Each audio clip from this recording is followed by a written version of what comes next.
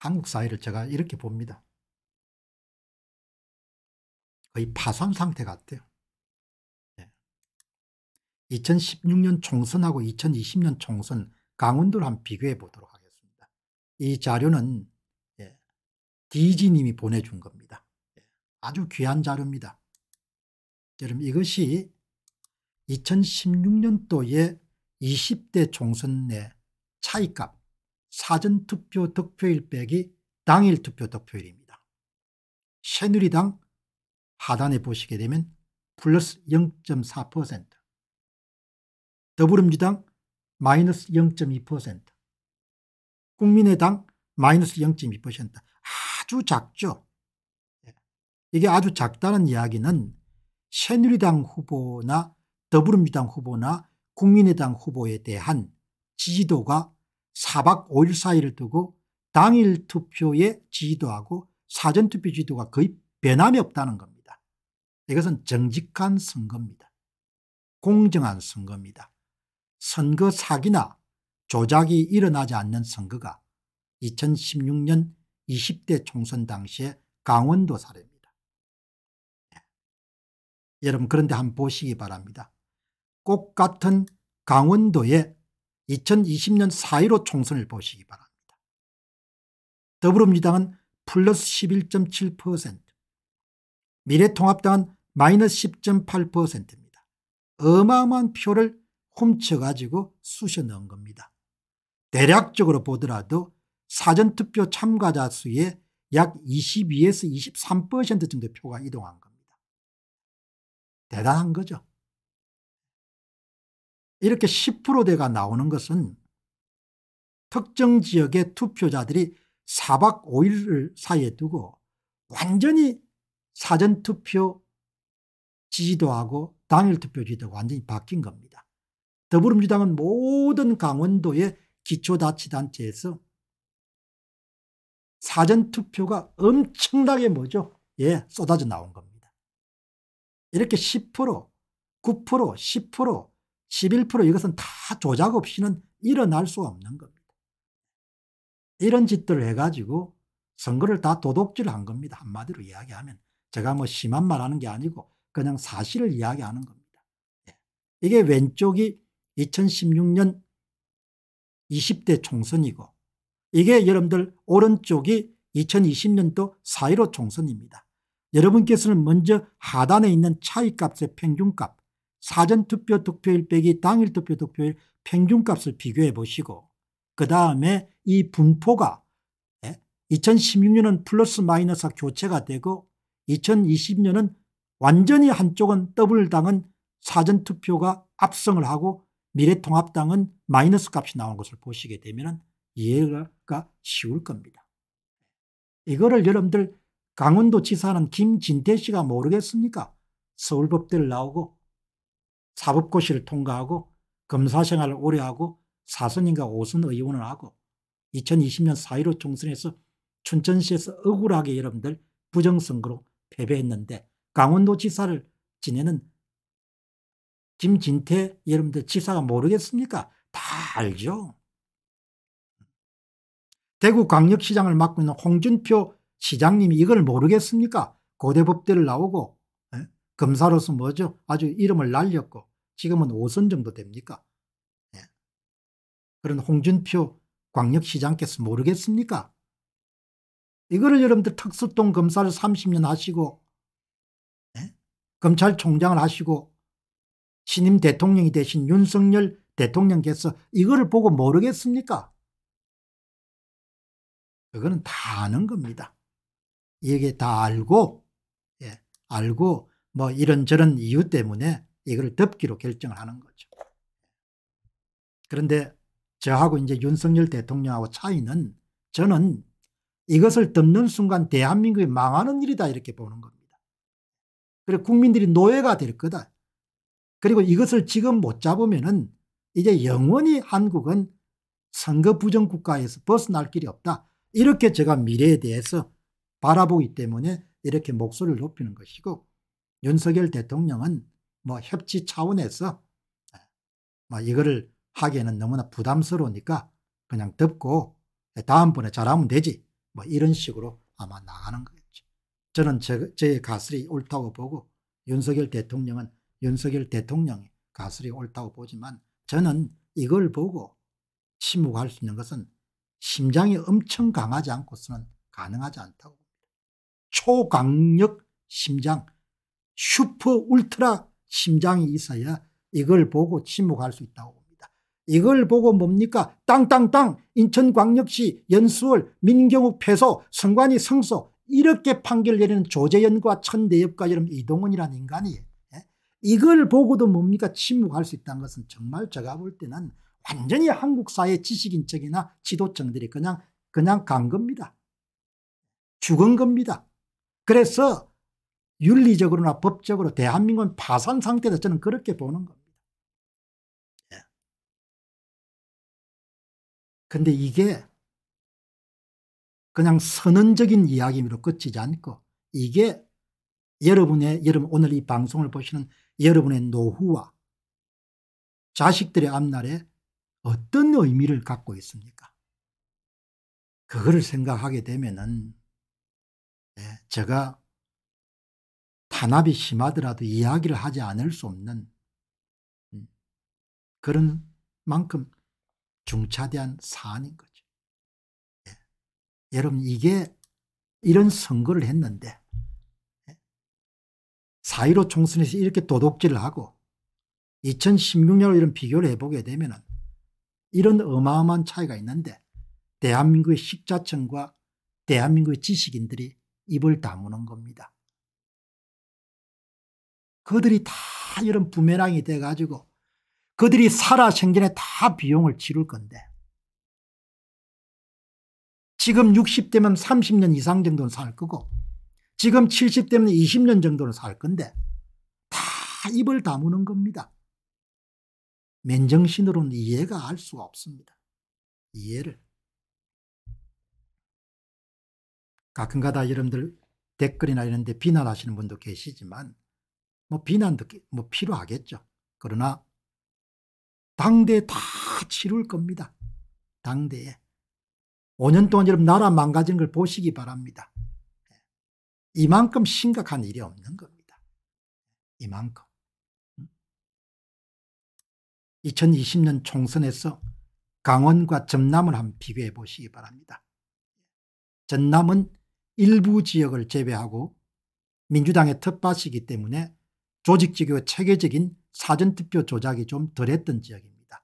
여러분 이것이 전남 광주시 전남 전라남도 전라남도의 4.15 총선 결과입니다. 현저하게 작죠. 더불어민주당의 차이값이 3% 그래도 여러분들 더불어민주당은 사전투표에서 대부분 다 성질을 거두게 됩니다. 미래통합당의 마이너스 1.4%입니다. 대부분 지역에서 미래통합당이 다 패배를 합니다. 일부 지역에서는 조작이 심했습니다. 여기서도 목포시, 여수시 값을 정동영 의원이 출마했던 그런 지역들 이상직 위원이 출마했던 전주시 지역들 예, 이게 여러분들 전남 광주 광역 전남의 4.15 총선 결과입니다. 예. 여러분 이게 강원도 결과입니다. 두 개를 비교해 보면은 예, 전남도 의심스러운 지역이 많지만 강원도하고 비교할 수가 없죠. 강원도는 어마어마하게 조작을 한 겁니다. 이런 일들이 4.15 총선에 전국에서 일어났고 이것을 치유하지 못했기 때문에 2021년도 4.7 보궐선거에서 어마어마한 규모 여러분들 조작이 있었고 2022년도 3구 대통령 선거에서는 전국의 사전투표만 240만 표를 전산 조작을 통해 가지고 이 표를 이동시킨 겁니다. 240만 표를 이동시켰는데 이재명 후보가 24만 7,077표 차이로 아슬아슬하게 패배했다. 0.73%로 패배했다. 윤석열 대통령 0.73% 후보다. 대통령이다. 뭐 이런 이야기를 하는 겁니다. 신문들도 그렇게 쓰고 완전히 맛이 간 사회인 겁니다. 예. 저는 누구를 비난하자는 것이 아니고 사실과 진실 앞에서 이렇게 거짓과 위선을 일삼을 수 있는 사회가 어떻게 앞으로 번영할 수 있고 제대로 자유국가로서 유지가 될 수 있느냐 저는 불가능하다고 봅니다. 가능하지 않다고 봅니다. 사람들은 어떻게 보는지 모르지만 이런 종류의 거짓과 위선과 거대한 악을 침묵하고 깔아뭉개는 사회가 어떻게 자유국가로서 존속할 수가 있겠습니까? 저는 마지막이라고 보기 때문에 이야기를 합니다. 윤석열 대통령이 참 많은 사람들의 이런 덕을 받아서 이렇게 당선된 거 아닙니까? 기사회생한 거죠. 그러나 뭐 입을 다물겠다고 하니까 본인이야 뭐 그렇게 입을 다무면 퇴임 후에 안정할 거라고 볼 수도 있겠죠. 뭐. 그는 어떻게 안전하겠습니까? 정권은 반드시 빼, 빼앗길 거고 빼앗길 수밖에 없지 않습니까? 이렇게 조작질을 하는데 어떻게 여러분들 정권을 정권을 안 빼앗겨겠습니까? 네? 본인 표를 240만 표를 좀 훔쳐갔는데도 3구 대통령 선거에서 네? 그렇게 실수로 이긴 거죠. 대구 광역시에서 조금 더 여러분 조작을 하고 경북이 거의 조작이 안 됐기 때문에 무슨 사고가 있었던 것 같습니다. 경상북도에서 여러분들 정상적으로 한 10% 정도 조작했으면 예, 그냥 이재명이 집권했던 겁니다. 기회라는 것은 항상 주어지지 않고 인생들을 그렇게 살면 안 되죠. 기회가 여러분 자주 옵니까? 예? 칼을 휘두를 수 있는 기회가 자주 옵니까? 아니면 자기가 칼을 맞고 죽을 건데 기회가 자주 안 오죠. 안정적인 봉급 생활을 오래 했기 때문에 그렇게 절박함이 없는 것 같아요. 우리는 네, 저는 봉급 생활을 참 적게 했기 때문에 살은 반처럼 이런 세상살을 봅니다. 기회를 놓치면 아참은 그냥 가는 거죠. 칼이 자기를 뺀단 말이죠.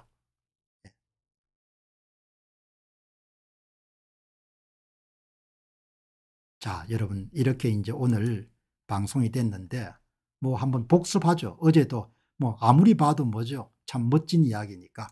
예. 대한민국 공직선거 사전투표 조작 어떻게 일어났는가.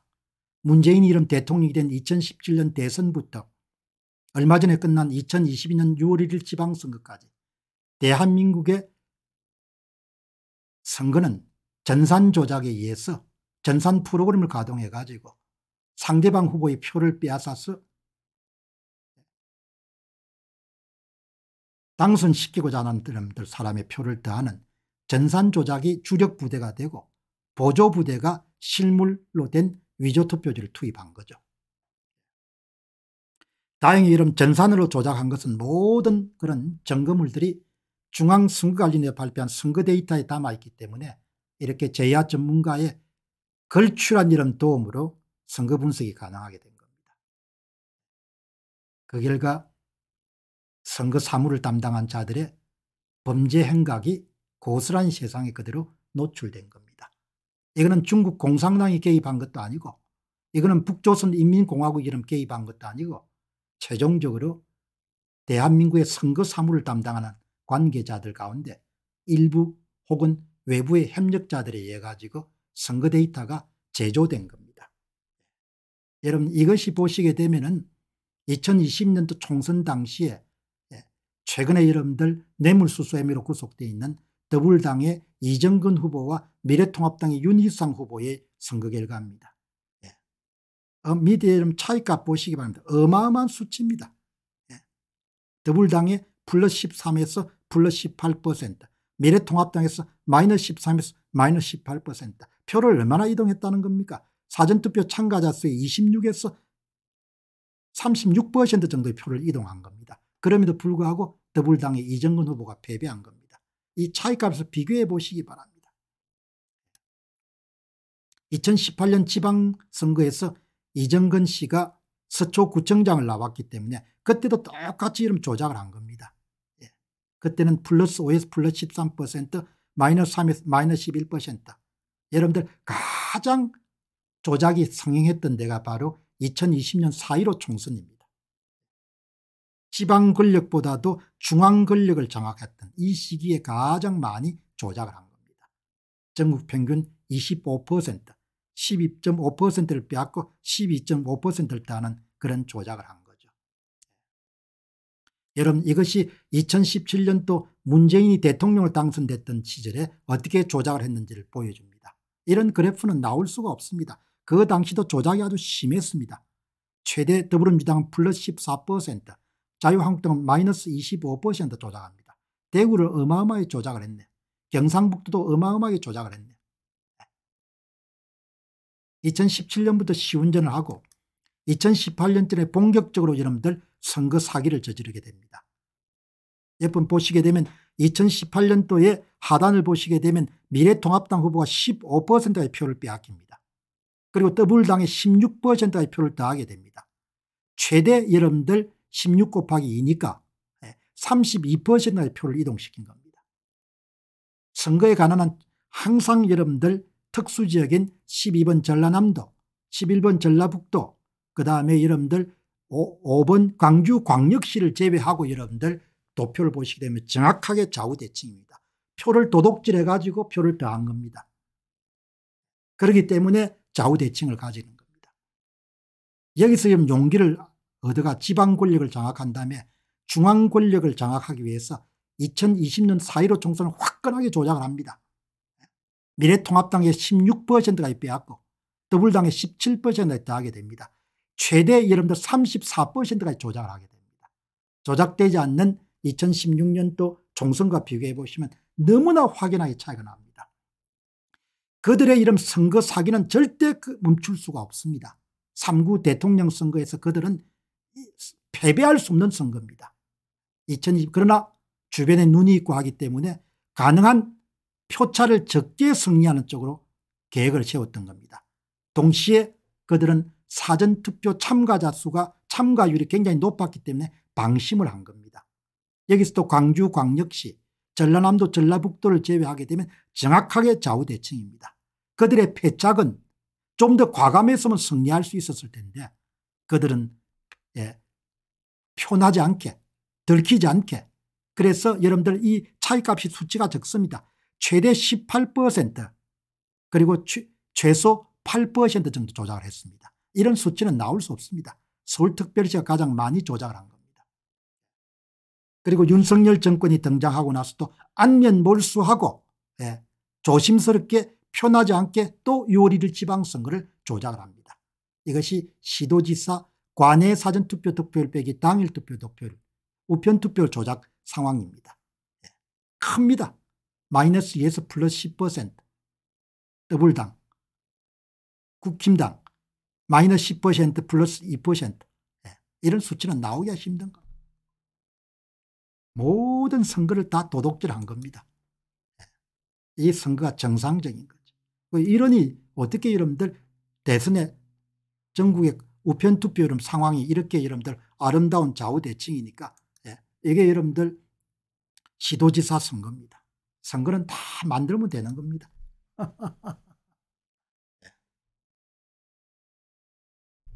나라가 망하는 일이라고 보고 국민이 노예가 되는 일이라고 보고 국민들이 재산을 약탈당하는 그런 정치체제가 장기 집권을 할 수밖에 없다 이렇게 저는 판단하기 때문에 그래서 이야기를 하는 겁니다. 당신들 이렇게 하면 안 된다. 그러나 뭐 권력을 진 자들이 판단을 뭐 내린 대로 국가가 가게 될 수밖에 없지 않습니까 윤석열 대통령의 안이란 선거 사기에 대한 그런 인식이 대한민국이 가지고 있는 저료의 기회를 날려버릴 것으로 저는 그렇게 우려하기 때문에 이야기를 하는 겁니다. 자 여러분 오늘 2시간 한 16분 정도 방송을 했네요. 오늘 토요일이기 때문에 방송을 좀 오래 했습니다. 마무리하고 또 내일은 하루 제가 쉬도록 하겠습니다. 쉬고 그 다음 모레 여러분 다시 찾아뵙도록 하겠습니다. 여러분 뭐 편안한 시간 가지시기 바랍니다. 고맙습니다.